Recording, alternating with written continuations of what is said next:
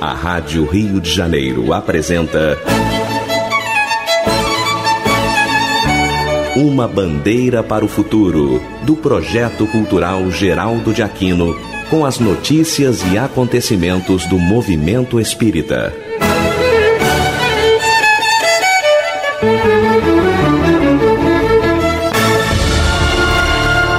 Todas as sextas-feiras, às quatro horas da tarde, e reprisado às quintas-feiras à meia-noite e aos domingos às 23 horas, pelas ondas amigas da emissora da Fraternidade, Rádio Rio de Janeiro, nós nos propomos levar até você estudos, notícias de eventos, congressos e seminários espíritas em todo o Brasil. Conosco as companheiras Sueli Guimarães e Fátima Verri. Movidos pelos ideais de Geraldo de Aquino, estamos nesse grandioso trabalho de confraternizar, ensinar e aprender os ensinamentos de Jesus. No livro Dias Melhores, nos diz irmão José: Espera o momento certo de falar. Deixa que os ânimos se acerenem. Não te manifestes verbalmente no primeiro impulso não permites ofensas. Quem se exalta está fora de controle. Participe conosco. Ligue para 3386 1400 e seja o mantenedor de programações educacionais em nossa rádio. Fortaleça essa corrente de amor. Junte-se a nós e desfraude conosco uma bandeira para o futuro.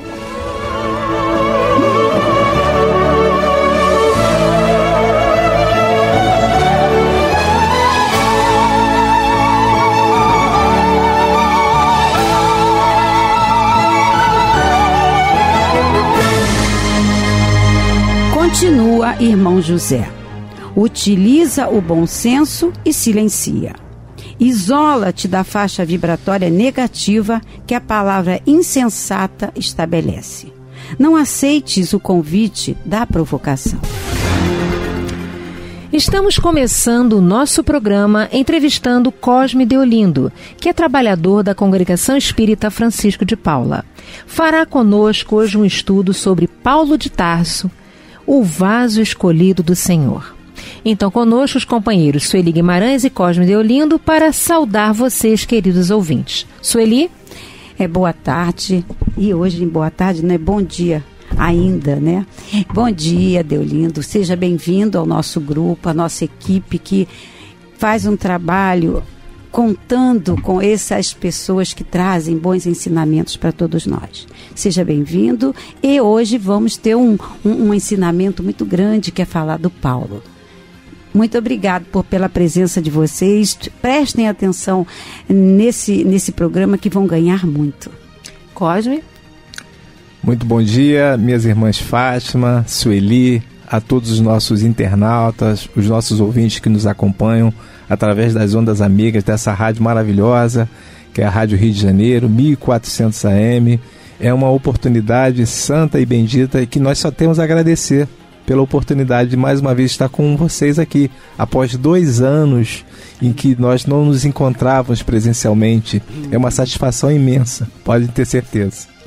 É, e a gente aqui está faltando o professor, mas ele não pôde estar conosco nesse momento, só vai gravar em outro horário. Mas enfim, é, realmente assim, esse aconchego da Rádio de Janeiro para todos nós é muito bom. E a gente espera que vocês aí do outro lado também sintam isso, esse carinho que a gente recebe aqui e que tenta mandar para vocês. E hoje com a presença do Cosme aqui, que também é um, um amigo já de muita, muito tempo, né? Inclusive também faz parte aqui da rádio, faz o programa também, falando muito sobre Jesus, não é? E a gente hoje então vai falar sobre um grande amigo de Jesus porque ele aprendeu tanto com Jesus que ele fez muitas coisas boas depois, quando ele, assim, teve a mudança, né? Ele conseguiu mudar. Então vamos falar. Quem foi Paulo de Tarso? Paulo de Tarso é nascido Saulo e posteriormente se transformando em Paulo. Era um judeu é, que nasceu na cidade de Tarso, na Cilícia, é, na Turquia atual, né? Uhum. E era um judeu da diáspora, ou seja, um judeu que foi muito bem preparado pela sua família, pelos seus pais, para se transformar num doutor da lei. O doutor da lei é aquele estudioso, conhecedor dos textos sagrados, conhecedor de todas aquelas informações que tem né, dentro é, das instruções judaicas. Era esta personagem, é esta personagem que nós vamos comentar aqui com os nossos ouvintes, com os nossos internautas, com as nossas irmãs aqui no nosso estúdio. E onde é que nós podemos assim encontrar os dados mesmo da vida e obra de Paulo? É, os dados da sua vida, elas são é, colocados normalmente nas biografias. Nós temos algumas biografias espíritas né, a respeito dele. Nós também vamos encontrar na é, importante obra chamada Paulo e Estevão, é, que é a psicografia do nosso querido saudoso Chico Xavier, através da orientação do seu amigo espiritual Emmanuel. É uma obra magnífica, temos muitas informações ali mas, é, digamos, para o estudioso, para aquele que deseja saber a respeito da sua vida, nós vamos encontrar nas suas cartas, onde elas se encontram no Novo Testamento. Para que nós tenhamos uma ideia, são 14 cartas que são atribuídas a, ao apóstolo dos gentios. Nós temos é, a sua vida também muito detalhada nos Atos dos Apóstolos, também que é um, uma obra, né, um livro do Novo Testamento, daqueles 27 então nós temos aí 14 atribuídas a ele, uhum. os Atos dos Apóstolos que, que tem uma importância muito grande quando fala de Paulo de Tarso. É, neste livro são 28 capítulos, os Atos dos Apóstolos. A partir do capítulo 13 até o final, só dá Paulo. Então nós vamos ter muitas informações a, a, seu respeito. E cabe aqui a gente esclarecer os nossos irmãos, os nossos internautas, os nossos ouvintes, esse Paulo é, é uma figura assim que nós temos informações é, concretas, verídicas, sem nenhum tipo de contenda em relação ao que está é, dentro dessas, é, dessas obras. E ainda tem também alguns textos apócrifos que falam sobre a sua vida. Se, se nós pudermos raciocinar, talvez ele seja a figura que nós vamos encontrar mais dados é, em textos que são formalizados por, pelo seu próprio punho, por suas mãos, e por pessoas que falam a seu respeito é, a gente se atreve a dizer que talvez até mais do que Jesus, porque Jesus não escreveu nada. Paulo uhum. escreveu. Uhum. Então nós temos essas informações, né, esses dados, dentro é, desses é, livros que nós abordamos aqui. As cartas, que são, é um gênero literário que é considerado na, na Bíblia, né? Os textos sagrados como livro, nos Atos dos Apóstolos, que é um livro do Novo Testamento, né, que compõe 27 livros desse Novo Testamento e também em algumas obras apócrifas que também falam sobre a sua vida, narram sobre a sua vida. Basicamente isso. É interessante, né, que muitas pessoas têm algumas dificuldades sobre essa questão dos apócrifos. Você podia explicar direitinho o que é isso? Porque as pessoas às vezes ficam, o professor às vezes diz isso para nós e ele sempre gosta de dizer, né? Por que apócrifos? Ah, um grande abraço aqui é, para o professor José Carlos Leal, que é uma figura que eu adoro, conheço há alguns anos. Não sei se ele ainda se encontra lá no ICEB, né, o Instituto uhum. de Cultura Espírita do Brasil. Mas um grande abraço para ele, que daqui a pouco vai estar com vocês aqui. E eu aprendo demais com seus livros.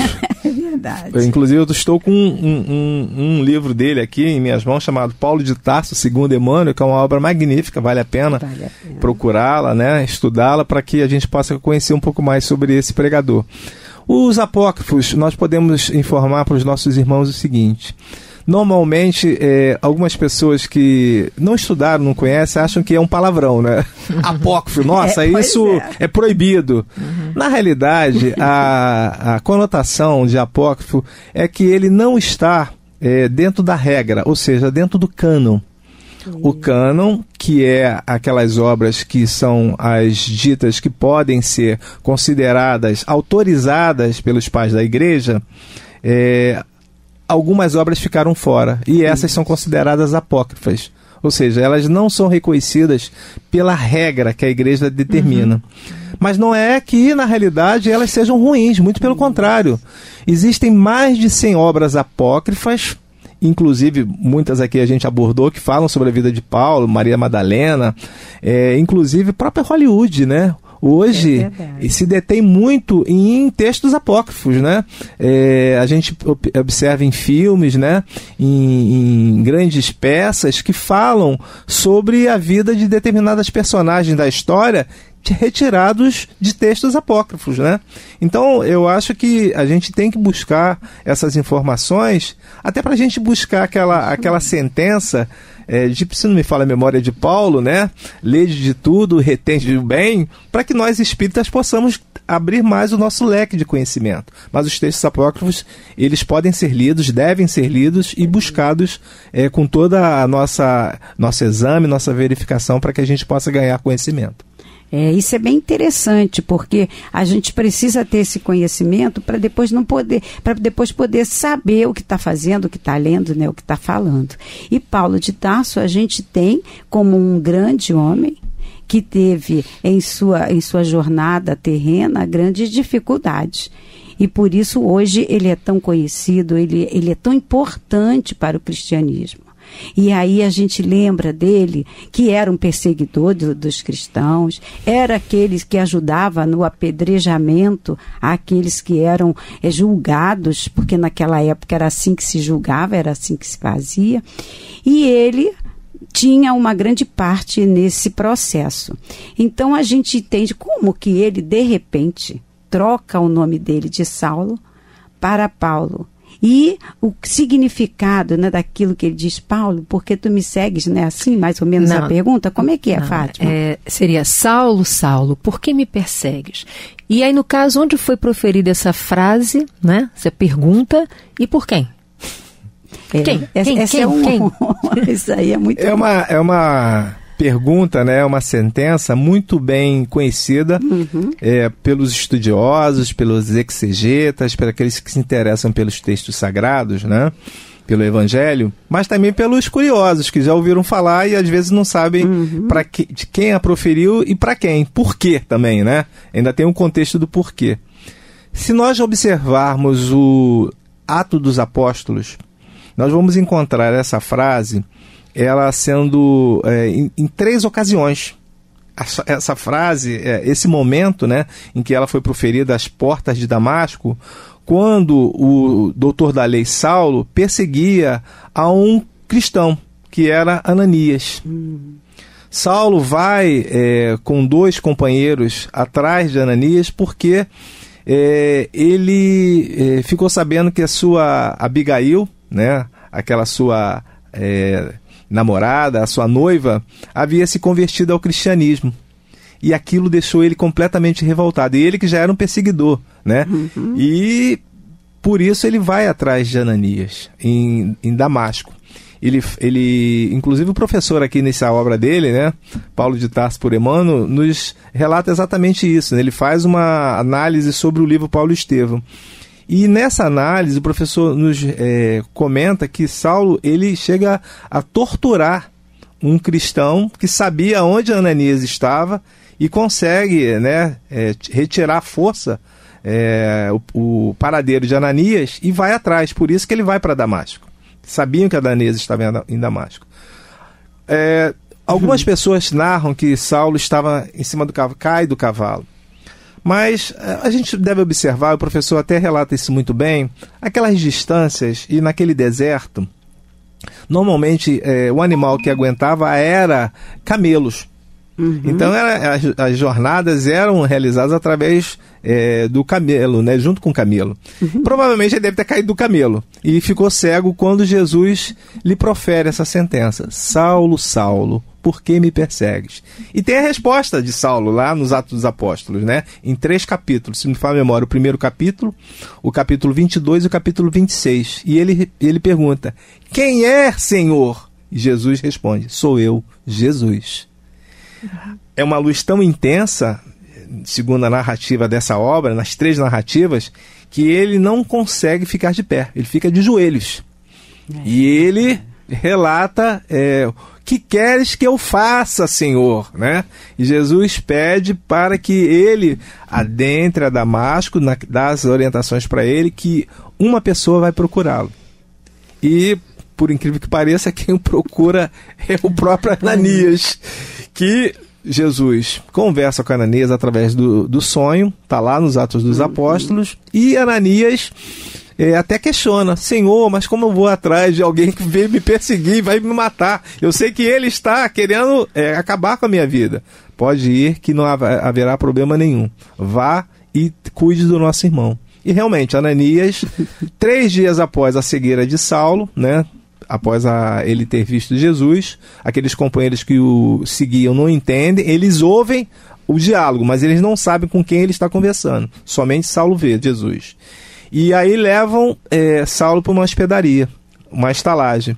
Ananias é, encontra ele três dias depois, os companheiros já partiram, já não estão mais lá, e Ananias depois recupera a sua visão e conversa com ele, com o doutor da lei, que tem essa modificação imediata, assim, digamos, a partir daquele reencontro de Jesus, já há uma modificação no seu conhecimento. E esses três dias Fátima e Sueli são muito importantes por causa da interiorização. Uhum. Ele refletia, ele não via a luz. Ele só conseguia pensar naquele momento. Imagina, você saber que você perseguiu aquele a quem tanto você esperava que era o Messias prometido. É a tal da consciência. A consciência. Né? Essa consciência é terrível, né? Não te Verdade. abandona nunca. E aí, nesse momento, quer dizer, houve então essa mudança, né? Que ele realmente teve a consciência de que ele estava fazendo o que não era correto. E aí ele passou a se chamar de outro nome, em vez de Saulo, passou a ser Paulo, é isso? Sim, exatamente. Nós temos é, essa conversão, é, com a modificação do seu nome. O Saulo é um nome que significa altivo, altaneiro, prepotente. E Paulo é justamente o contrário. Hum. É o paulatino, o menor, o humilde, ou seja, aquele que se modifica, sai de uma situação maior para uma situação menor. Jesus mesmo afirmou: aquele que quiser ser o maior no reino dos céus, seja o servo de todos, né? O primeiro a servir e o último a ser servido. Então, a mensagem de Jesus é, de uma certa forma, entendida, refletida por ele e por isso ele faz essa modificação do seu nome. E aí, com isso, ele ficou conhecido como apóstolo dos gentios. Por quê? O que, que acontece? Essa peregrinação de Saulo é uma peregrinação que é de muito sofrimento. É, é, nós temos o, na doutrina espírita a lei de causa e efeito. Uhum. Tudo aquilo que a gente semeia, nós vamos colher. Isso não significa que é a punição de Deus, muito pelo contrário. São, na realidade, os frutos que nós estamos resgatando, estamos colhendo, de acordo com as nossas ações, de acordo com os nossos movimentos, os nossos pensamentos. Tudo aquilo que Saulo fez, embora ele fosse alguém que estivesse detido no que determinava as escrituras, os textos, ele estava equivocado. Uhum. E ele teria que resgatar tudo isso. E que bom que ele conseguiu resgatar nessa existência. Ele conseguiu modificar-se, fazer a sua reforma íntima ainda nesse plano, não é, desperdiçando essa encarnação. Então, o que, que acontece? Essa modificação dele foi é, necessário que ele buscasse o quê? Ele buscasse é, modificar aquilo que ele havia perseguido, matado. Ele mata a Gesiel, que é Estevão. No livro Paulo Estevão a gente observa isso. E é o primeiro mártir do cristianismo, Gesiel, né? Estevão, né? Esse, há essa modificação de nome, ele que era irmão de Abigail, por quê? Porque uh, o pai, Joacheb, foi condenado, né, por uma questão de invasão da, da, do terreno dele, das terras dele, e Gesiel vai defender o pai para poder tirar. E lá, o, o aquele é, romano que estava resolve prender o filho também. E os romanos eram bastante severos. Condena Estevão às galés. Aquele que era condenado às galés pelos romanos não tinha é, remissão. Ficaria para sempre.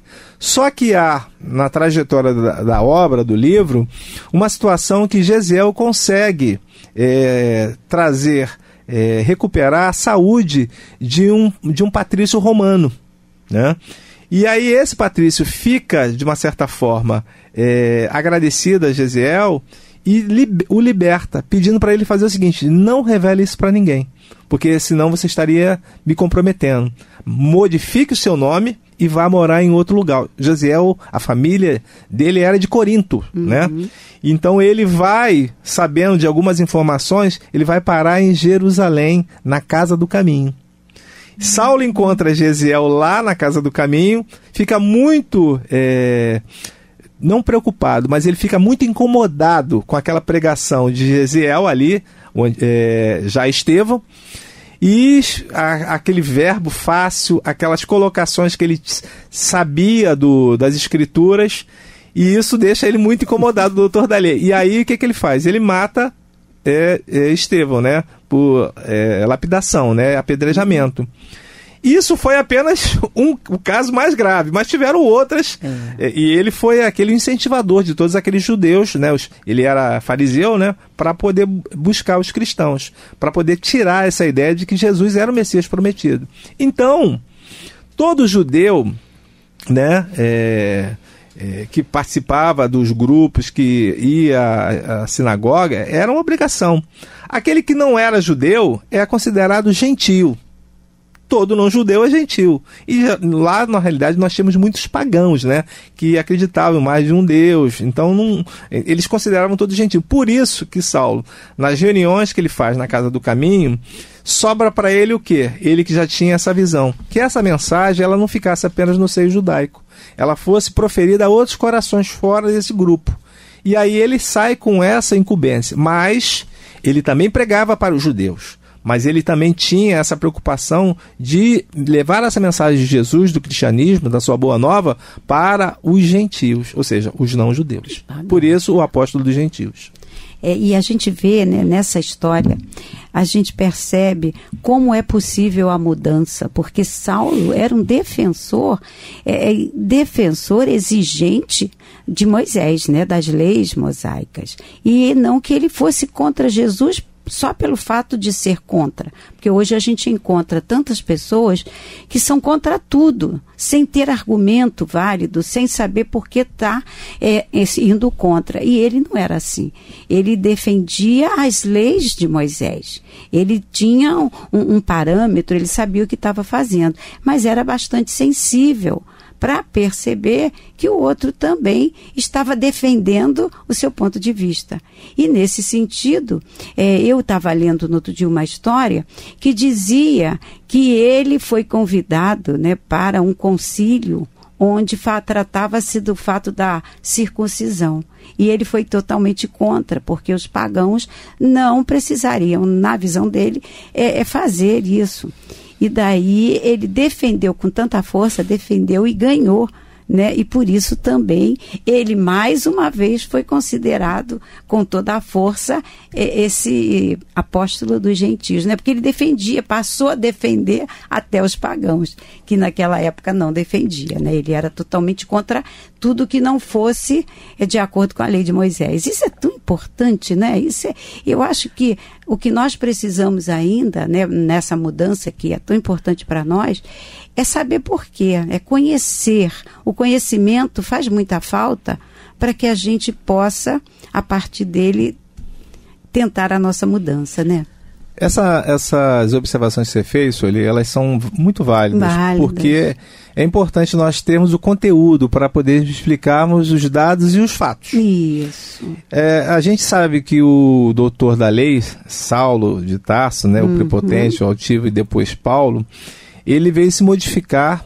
Essa modificação, é, se a gente puder refletir, hum, é provavelmente ela não aconteceu hum, de imediatamente, de uma hora para outra. Ela veio acontecendo, ela veio se modificando. Tanto é que ele não sai para pregar o cristianismo imediatamente. Não. Encontra Jesus é, às portas de Damasco.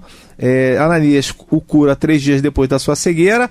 Ele conversa com Ananias, ele vai é, pregar é, aquela conversão dele na sinagoga de é, Damasco. E lá hum. há um vexame.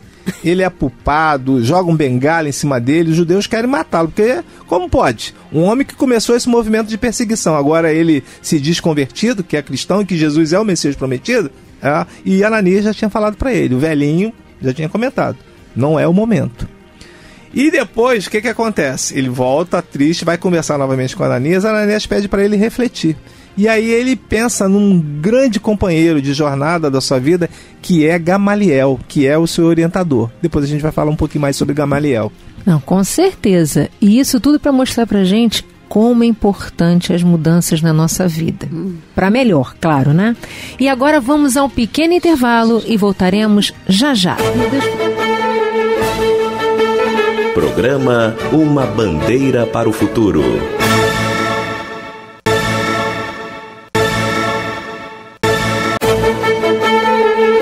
Programa Uma Bandeira para o Futuro, do Projeto Cultural Geraldo de Aquino, com as notícias e acontecimentos do movimento espírita.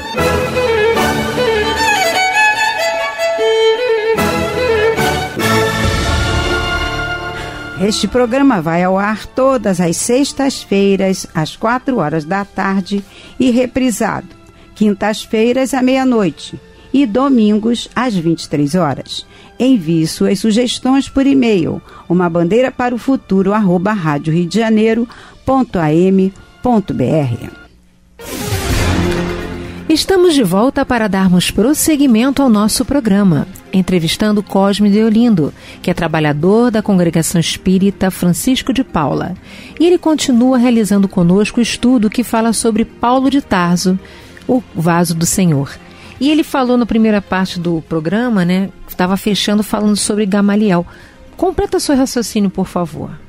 Sim, essa personagem, Gamaliel, é muito importante na vida de Paulo.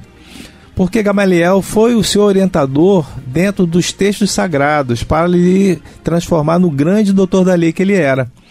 E Gamaliel é essa personagem que a gente fala que é bastante importante na sua vida, porque ele, antes de Saulo, abraça o cristianismo. Ele já havia se afastado daquele farisaísmo e já estava afastado é, quando Saulo procura depois da sua conversão. E é Gamaliel quem lhe pede para que ele vá, primeiramente, interiorizar essa mensagem de Jesus para ele buscar, né, pregar, pregação depois.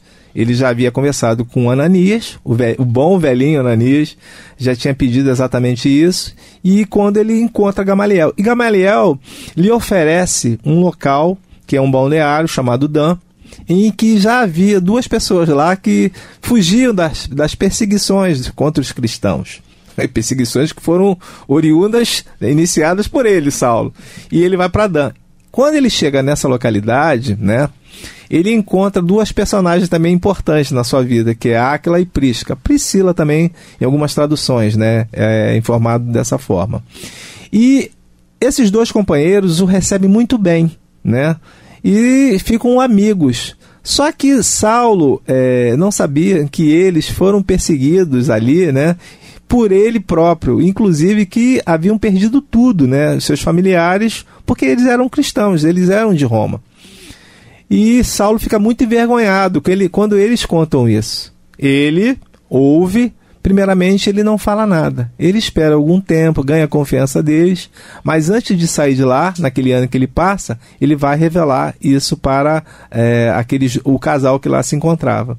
E eles ficam assim bastante é, impressionados com tudo, mas não o condenam. Olha como é que eles eram é, bo bons cristãos, né? Entende a sua situação, ele fala que está modificado, e aí ele sai de, de Dan e vai procurar sua irmã em Tarso, ela já não se encontra mais lá, então ele resolve ir até a casa do pai. Chegando na casa do pai, o pai o recebe. Ele está muito, completamente modificado, a pele queimada pelo sol, o cabelo já cortado, muito magro. E o mordomo vem trazendo o pai. Quando o pai o recebe, imediatamente o reconhece, né? Pai e filho. E ele explica a situação que se passara com ele e o pai, que era Jacó, seu nome era Jacó, não entende isso e lhe diz o seguinte: é, ou você decide, ou eu ou Jesus. E Saulo, apesar de ter sido uma decisão muito difícil, escolhe Jesus. E a gente recorda que o mestre amado ele tem uma sentença que ele fala exatamente sobre isso. Todo aquele que dá maior importância a seu pai ou a sua mãe do que a mim mesmo, não está preparado para me seguir. E Saulo diz que é Jesus. Ele sai depois dali vai procurar os homens do caminho em Jerusalém. Lá ele tem um encontro muito interessante nessa obra Paulo Estevo, quando Prócoro, que é o mordomo que abre lá a porta e vê Saulo, quando ele informa que é Saulo que está ali procurando, né, é, para falar com Pedro, e ele fecha a porta, e ele vai lá e fala, avisa Pedro, João e uhum. Tiago, ora, quem está lá é o doutor da lei, de novo, porque ele já havia estado lá, quando daquela ocasião que eles o receberam e ele ocasionou toda aquela situação é, da morte de Estevão. Uhum. Então eles ficaram com medo. Tudo e de eles, novo? Tudo de novo. e ele diz que está modificado. Mas eles não recebem. Eles fazem o seguinte: diga para ele para ele voltar depois. Eles fazem algumas reuniões e eles decidem enviar é, uma pessoa, uma personagem importante também na vida de Saulo, que é Barnabé, né? José Barnabé, um levita eles vão é, dão a incumbência para Barnabé averiguar se essa modificação de fato era verdadeira, antes de abrir a porta para Saulo, né, na casa do caminho. Foi fazer o teste. E Barnabé de fato descobre que é verdadeira. Conversa com o irmão, ele paga a, a sua conta na estalagem onde ele estava e o leva para a casa do caminho. Lá na casa do caminho, essa situação que você comentou, Sueli, né, na outra parte, a respeito da questão da circuncisão, é. foi um tema muito discutido. A gente vê bem essa situação ocorrendo no livro Paulo Estevão, uhum. porque o Tiago Maior, ou Tiago, também conhecido como é, irmão do Senhor, perdão, Tiago Menor, também conhecido como irmão do Senhor, ele era muito arraigado às tradições judaicas. E a Casa do Caminho, ela estava de uma certa forma vivendo um período tranquilo, sem perseguições. Por quê? Eles sabiam, os homens do Sinédrio, que Tiago ali se encontrava e trazia alguma coisa do judaísmo. Então eles estavam meio tranquilos. E Saulo era contra isso. Não queria Total. que o cristianismo né, se transformasse num judaísmo modificado. E tem grandes discussões. Simão Pedro sempre recebeu todos muito bem. Tiago ou você se enquadrava na circuncisão, em você obrigado a ir à sinagoga também e depois ir à casa do caminho. Todas essas colocações né, pertinentes à religião. E Saulo era contra. Total. Então o que, que sobra para Saulo? Sobra para Saulo divulgar essa nova mensagem de Jesus para os é, não judeus, os gentios. E aí eles parte para a sua, é, para sua pregação, ele vai para Tarso, Lá ele é, se emprega, né? Ele começa a trabalhar naquele ofício que ele havia aprendido do seu bar mitzvah, que é tecelão, e começa e ele se, se aloja novamente na sua cidade. Seu pai nesse momento já não está mais, havia mudado, né? Sua irmã também já não se encontrava desde a primeira vez que ele foi, ele fica lá. E depois ele vai encontrar é, algumas personagens importantes para fazer três grandes viagens. E essas viagens são as viagens que nós conhecemos, que nós uhum. sabemos que ele fez. Esses companheiros, quais são os nomes de, deles, né? Barnabé, aquele mesmo que foi é, recebeu a incumbência de saber se a sua conversão havia acontecido, que uhum. faz é, é, viagem também com Saulo.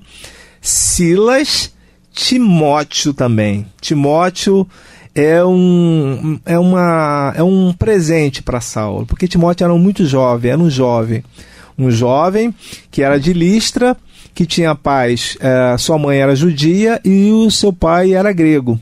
Né? Uhum. Então ele era um convertido. Mas quando os dois se encontram, há assim uma. É, uma conexão muito rápida entre eles, porque Saulo via em Timóteo muito dele, daquele jovem, né, é, indômito, né, conhecedor, interessado, né, e, e, e, bastante inteligente. Ele via muito em Timóteo. E Timóteo vê em Saulo aquele pai que era, né, que podia dar as orientações para ele. Então, assim, uma, uma conexão, uma conexão muito, muito grande. grande, entre, entre os dois. Tanto que das cartas, a gente vai falar daqui a pouco, né, ô Fátima? Uhum. Duas cartas ele Sim. atribui a Timóteo. Certo. É, eu também queria, né, para você falar um pouquinho mais, que no início você comentou, mas não, não abrangeu muito a, a, situação. É falar da importância de Estevão e Abigail na trajetória de Paulo, porque você deu só uma pinceladinha, mas que você falasse mais um pouquinho sobre isso. Principalmente Abigail. Né? São importantíssimos, tanto no, no, na parte da transformação né, de Estevão, né, a gente comentou aqui que foi é, devido à sua morte, né, que uhum. os homens do caminho ficaram preocupados, né, que na segunda visita, né, quando Saulo os procura novamente. E é, o Paulo, ele, é, quando Saulo tinha é, em Abigail sua, a sua noiva. E ela tinha um irmão desaparecido que era Gesiel. Então ele usava, na realidade, a sua reputação para encontrar Gesiel. Só que ele não conseguia encontrar, porque ele havia mudado de nome, né? E era, na realidade, aquele que ele mandou matar, que é é, Estevão. Então, quando ele descobre isso, quando há, há uma grande decepção dele, porque ele queria ajudar a noiva, né? Abigail fica doente, morre, e ele se vê, imagina, aquele irmão tão amado, adorado pela sua noiva, que ele a, queria né, encontrar, era na realidade aquele seu adversário que ele criou, ele mesmo. Então, você imagina a grande frustração dele, né? E depois Abigail fica doente e morre. No plano espiritual, ambos, nós podemos dizer que quando Saulo sai é, de Dan, ele já sai com aquela força, é, aquela energia de, de Prisca e Áquila. Mas, nas primeiras pregações, Saulo percebe uma presença ao seu lado. Ele acha uhum. que é uhum. Jesus, mas não é Jesus, é Estevão. Então Estevão vai como é, um orientador espiritual ao lado nessa pregação do apóstolo dos gentios aqui. Então é muito importante. E algumas vezes a gente vê na narrativa da obra, Paulo Estevão, Abigail também, uhum. naqueles momentos de fraqueza de Saulo, porque tiveram momentos de fraqueza. Claro. Foram muitas decepções, apedrejamentos, ele na realidade é, ele foi abandonado para aqueles companheiros, né? Que às vezes acreditavam, achavam que ele era aquilo tudo, e aí o Saulo passou a ser mais um né, na multidão. E tudo isso, é, essa importância de, de Estevão e Abigail, tanto de vista, do ponto de vista material, também como espiritual, mesmo após a, o retorno deles à pátria espiritual. É, é tão importante a gente ter esse conhecimento para saber, né? Eu sempre que leio, eu vejo como o outro pode influenciar a nossa mudança, influenciar as nossas palavras, né? E era muita, muita luta que a gente via nessa pregação do, do Paulo para Boa Nova. Para ele não foi fácil, foi uma mudança muito, muito, muito grande. E então a minha pergunta é: é factível afirmar que sem esta sua dedicação o cristianismo não seria tão conhecido nos dias atuais? Porque a gente ouve falar que ele era muito importante, né? Alguns pesquisadores, alguns teólogos gostam de afirmar que essa divulgação maior da Boa Nova foi de Paulo. E alguns dizem até que mais do que Jesus. É factível isso? Nós, hoje, os cristãos no mundo, é, somos em torno de 1,8, 1,9 bilhões de cristãos. Não somos a maior religião do mundo. Uhum mas é um número considerável de é, cristãos, considerando que nós temos uma população de 6, alguma coisa, quase 7 bilhões de habitantes, ou 7 bilhões, alguma coisa. E essa pregação é, do é, apóstolo dos gentios, ela foi extremamente importante, porque ela saiu dentro daquele seio judaico e ela vai para aqueles corações que desconheciam Jesus. Então, quando Saulo ele vai pregar a boa nova de Jesus, o seu evangelho, ele vai falar para corações que não conheciam Jesus, não tiveram oportunidade de estar com ele. E ele faz então três grandes viagens na sua vida. A sua conversão dá mais ou menos, se dá mais ou menos entre o ano 35 e 36, digamos. Não tem uma data exata, né? é, né? Mas é. por aí, por volta de.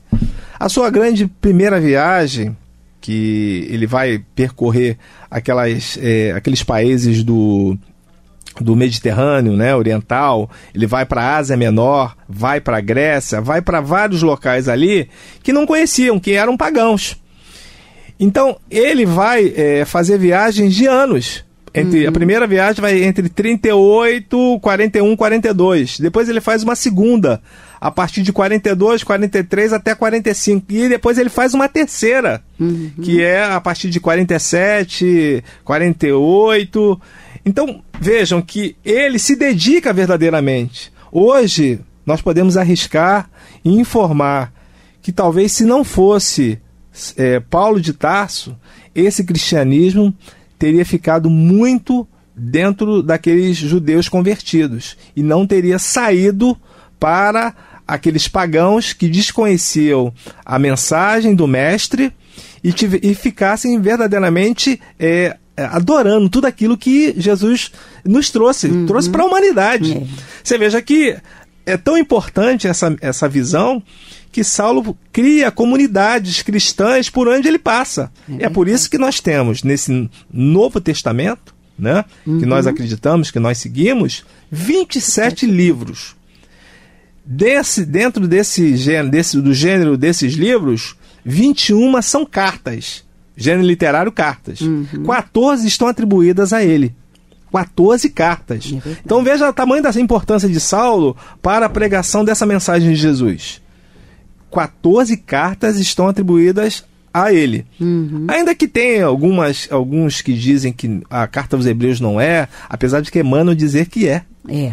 É carta dele, sim. Emmanuel é nos informam que a carta aos Hebreus é uma carta de, de, de, de, de Paulo. De Paulo. E essas cartas elas são muito importantes a gente ter tomar conhecimento dela. E não é nada difícil, tá, Sueli? São cartas é, pequenas, relativamente pequenas, e que a gente vai tomando conhecimento do contexto daquela época, porque ele escreveu. E essas cartas têm uma estrutura. Uhum. Ele escreve primeiro, ele como sendo o responsável, ele, eu, Saulo, Paulo de Tarso, escrevo para o destinatário. Depois vem o corpo da carta e ele no final faz uma saudação. É ele bem, faz uma é saudação positiva é né, dessas cartas. E essas cartas elas estão divididas, tá, Sueli? Hum, estão divididas em quê? Como é assim? Que, que tipo de divisão? É, os pesquisadores, os estudiosos, eles é, fazem uma separação dessas cartas. Por exemplo, é, 14 são atribuídas a ele. Para os pesquisadores, uhum. apenas 13 são, são de, dele. 13. A carta aos Hebreus não, por esse motivo que a gente já comentou aqui. Alguns dizem que não é ele. Os pesquisadores. É. Emmanuel afirma que sim. É deles, e eu acredito em Emmanuel. Eu também. Mas a gente não pode abrir mão da, da, da postura dos pesquisadores. É. Né? As duas primeiras cartas são para aquela comunidade de Tessalônica, são aos hum. Tessalonicenses. A primeira carta aos Tessalonicenses, né? E a segunda, né? É, essa carta aos Tessalonicenses é por volta mais ou menos do ano 50 né? Então a primeira carta que ele escreve é, é para essa comunidade. Só que ele não escreve de lá. Ele que estava em viagem com Barnabé e Timóteo, ele escreve de Corinto. E uhum. essa carta, na realidade, é um verdadeiro relato da, do início das comunidades cristãs naquele primeiro século que nós temos. É um grande papel.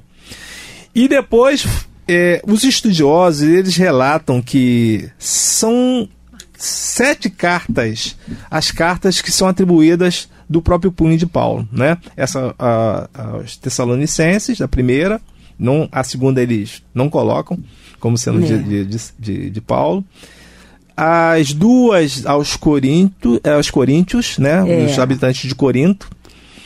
É, a carta a Filemon, que hum. era um, um, um, pastor, né? Um daqueles pastores lá e a carta também a, é, Filipenses também uhum. é, é, também eles atribuem a Saulo e a carta aos Romanos e é, e a carta aos Romanos que são cartas que eles atribuem sete cartas sendo dele especificamente dele tem as cartas pastorais a gente Isso. já falou aqui as cartas pastorais é. Duas cartas que nós comentamos aqui a Tito, aquele jovem de Listra, né? É isso. São, por, quê? por que pastorais? Porque Saulo escrevia cartas para comunidades ou para alguém responsável desses grupos. Essas comunidades. É. Então, é, as cartas pastorais são duas para Timóteo e uma para Tito. Tito é uma personagem também pouco conhecida, mas se fala em algumas cartas é, sobre ele. Se fala pouco, mas era uma pessoa também que Paulo confiava, porque se escreveu para ele é porque na realidade tinha é, confiança. Há também as cartas do cativeiro. cativeiro. Essa é, aí é importante a é, gente essas, saber. É, cartas do cativeiro são as cartas onde, quando ele estava preso. É. E a dúvida aí é saber de onde ele escreveu, se era de Roma ou se era de é, Cesareia de Filipe, por exemplo, que eram comunidades próximas a essa cidade, essa cidade, né? E, mas também não se tem uma certeza. Alguns dizem que é Roma, quando ele estava em Roma, outros falam Sim. que em outra cidade. Essas cartas quais são? É, são as cartas, a carta aos Efésios, uhum. né? É, carta aos é, Gálatas, não é isso? Não, é, os Efésios, é, carta aos é, aquela comunidade também que é uma. Olha, aqueles nomes são tão difíceis. Não, a carta a Philemon também é considerada carta do, ao, ao, do cativeiro. Isso. Carta aos é, é, Colossenses. Isso. Né? Colossenses. E, é, Colossenses é, é, também é considerada como carta falar. do cativeiro, quando ele estava quando ele estava preso, né? E tem mais uma carta também que agora me falhou a memória, que é também considerada. São quatro cartas consideradas cartas de cativeiro quando ele estava preso. Qual é a situação dessas cartas? Que elas foram escritas. A importância, a importância delas é que elas foram escritas praticamente ao mesmo tempo. Hum. E aí essa dúvida saber se estava mais ou menos quando ele foi estava preso em Roma ou se ele estava em outra localidade. Mas são cartas que, que são atribuídas dessa forma, né? Tem a, tem a carta que ele coloca muito é, é falando sobre o amor. Né, ele dando essa especificação e é, uma, e é uma carta que a gente escuta muito, não só pela, nas missas da Igreja Católica, mas a gente escuta muito falar em outras religiões que né, estão ali falando sobre, sobre Jesus e tudo mais. Inclusive, até o próprio Renato Russo aproveitou para fazer uma música né, encaixando. E essa, essa carta é, é uma mensagem tão bela, né? é, aquela carta primeira aos né? Coríntios. É, primeira aos Coríntios. Na realidade, aqui vou, vou, vou falar uma curiosidade para ah. quem gosta de estudar, né? Ah. São duas cartas a, aos habitantes dessa comunidade de Corinto, né? Aos coríntios. É, Na realidade, Saulo escreveu quatro cartas hum. para eles. Pouca gente fala sobre é isso. É verdade, só conhece essas duas. Só conhecemos essas duas, que ele é. diz que a primeira é a primeira, a segunda passa a ser, acho que é a terceira. Hum. E depois já tinha mais uma. A primeira, na realidade, é a segunda, e a segunda é a hum. terceira.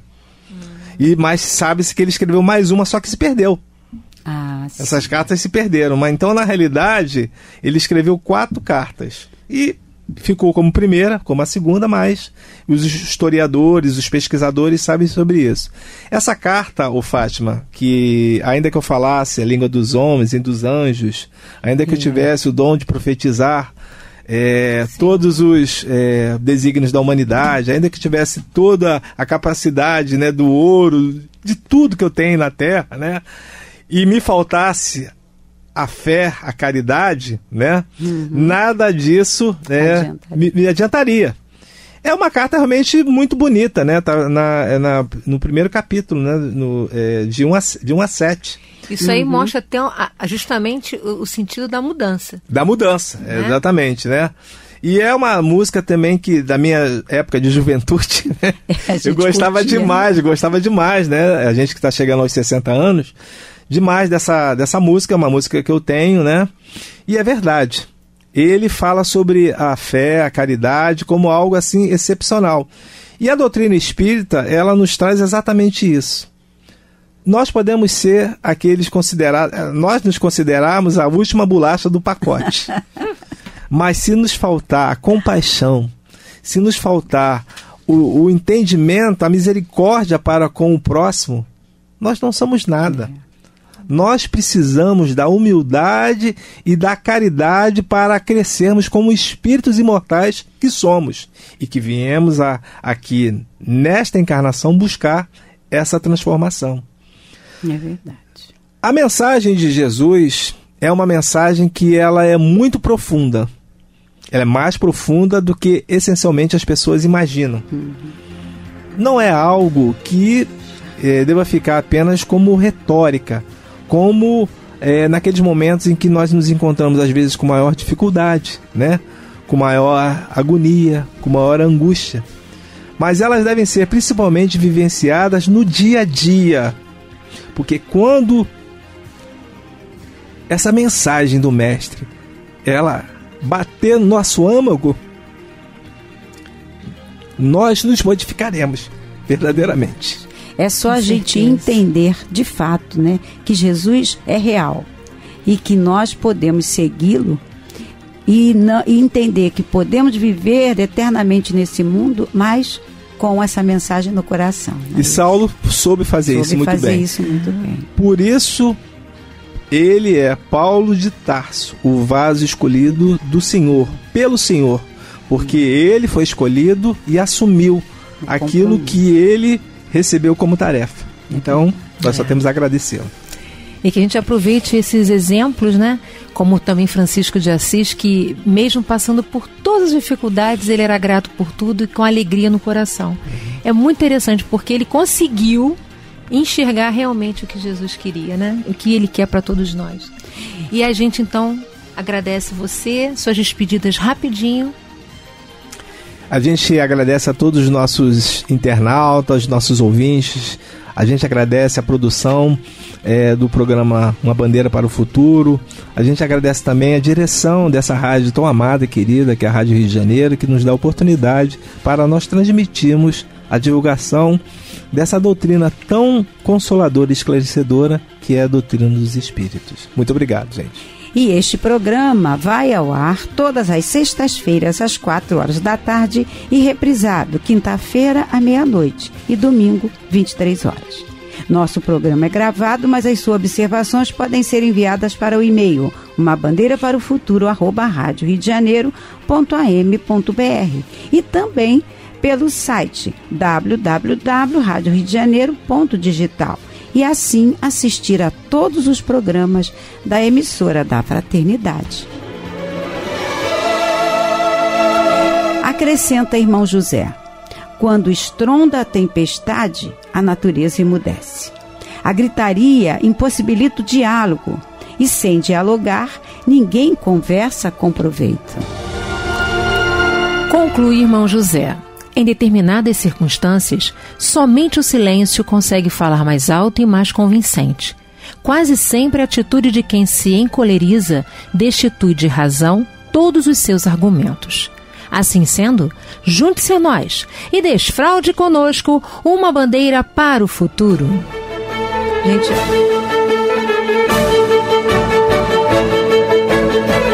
A Rádio Rio de Janeiro apresentou.